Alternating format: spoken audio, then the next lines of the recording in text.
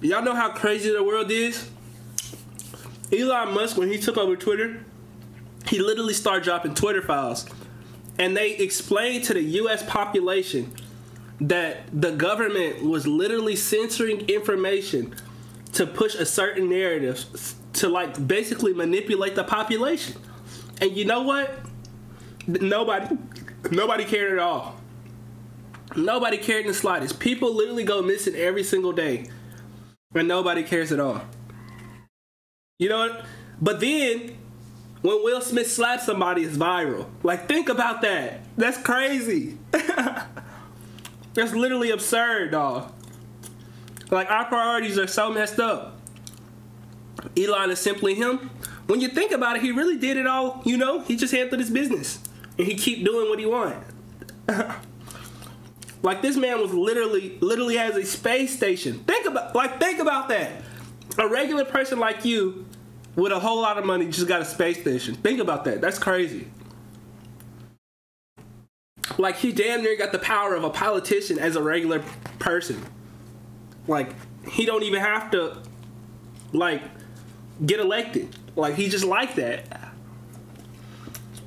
W Elon. Bro has a space station, flying car, Tesla truck, etc. Fact. And he's just him. Like he don't gotta like the thing about it is like you know he get hoes just off the merits, just off the fact that he him. Like he don't even gotta look good. He just got it like that. It's a crazy world we live in, dog. And then look at me, a regular dude just on stream eating Mr. Beast burger, while while Elon Musk out there working his ass off.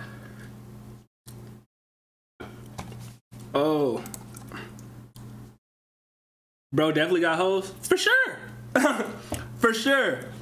He's not lacking in that department. I promise.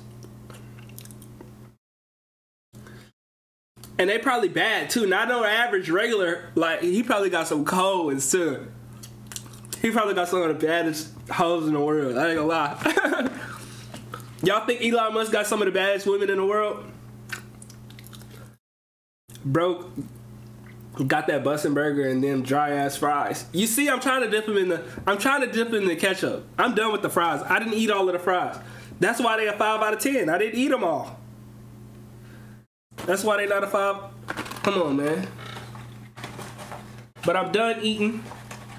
I'm done eating my food. We about to do these reactions. He could he could create his own girlfriend. He probably dead ass could. You I know y'all heard about the Neuralink. Anybody who's who can do that, if he pull that off, y'all, it's gonna be crazy. I, matter of fact, we eating the Mr. Beast burger and we talking about Elon Musk. I seen the clip of um, Mr. Beast talking about if he came out with the Neuralink, Mr. Beast would get it. And the way he, Mr. Beast is smart, you guys. I don't know if you understand this.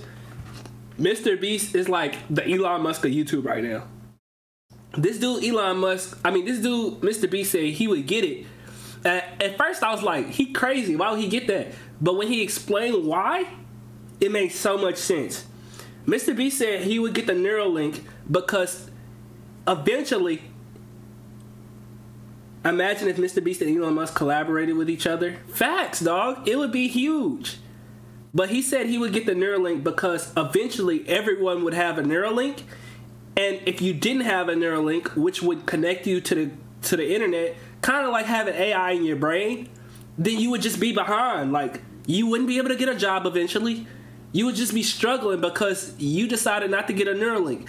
It's like we're at this point where you either evolve with everybody else or you fall behind and die. Like that's literally evolution right now. Like we're we're living through evolution.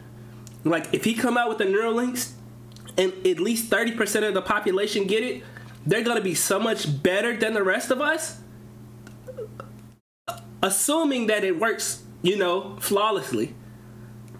They're gonna be so ahead of us that everybody else is gonna have to get it or we're going to fail. Like you know what I'm saying? And they definitely won't be able to handle that.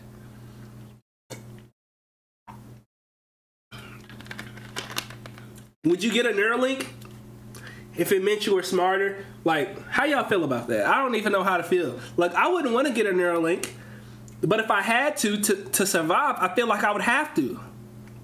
You know what I'm saying?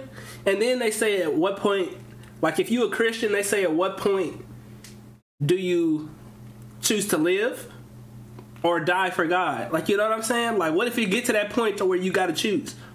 Are you gonna die for God? I feel like I'd die for God. I ain't gonna lie.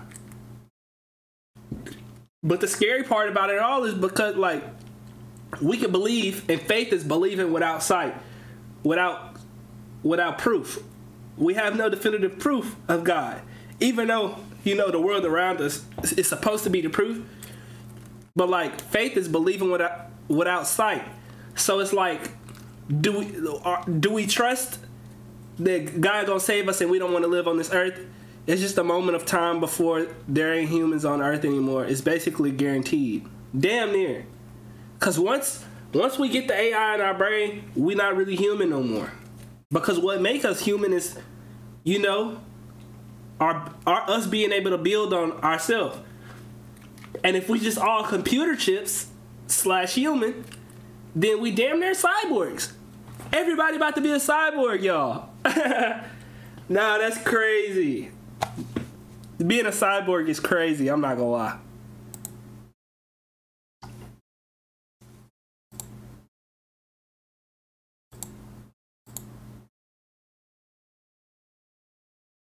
now I want to be a cyborg.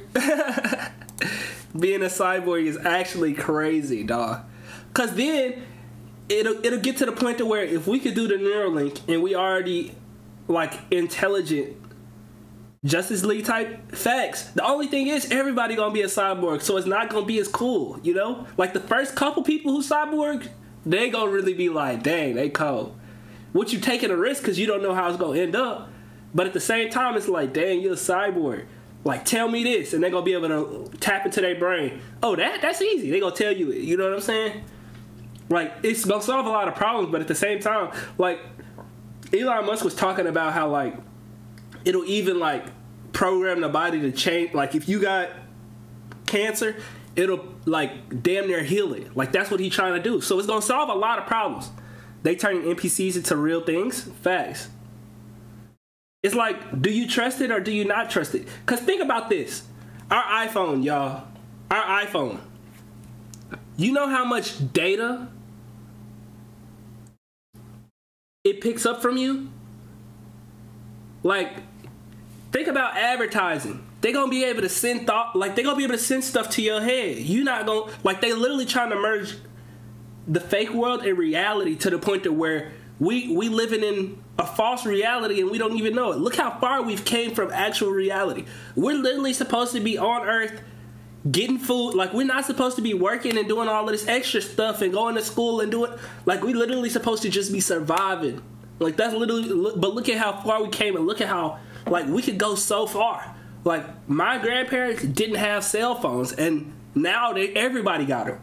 Like we just like improving at such a fast rate to where it's like, how far are we gonna go? Like, how much convenience are we gonna have? And I was gonna make a, I'm literally gonna make a YouTube video about this for my main channel on how dangerous AI can be. And like, bro, it's to the point that where like, I don't know if y'all know about this, but it's a thing called Chat GPT. And basically, like, you could type something in and it'll give you an answer almost like you're a real person. Like, you could come up you could make a, a video script. You could write code. Like you could damn near build a whole website just using this one AI tool. Like they got text to picture. Like it's just blowing up to the point to where it's like, when are we gonna become obsolete? Like normal humans. When are we gonna become obsolete? How far are we gonna go in order to be successful? and what are we gonna ha- what morals are we gonna have to sell like we're gonna have to sell our morals away what morals are we gonna have to sell it's a valid question to ask you know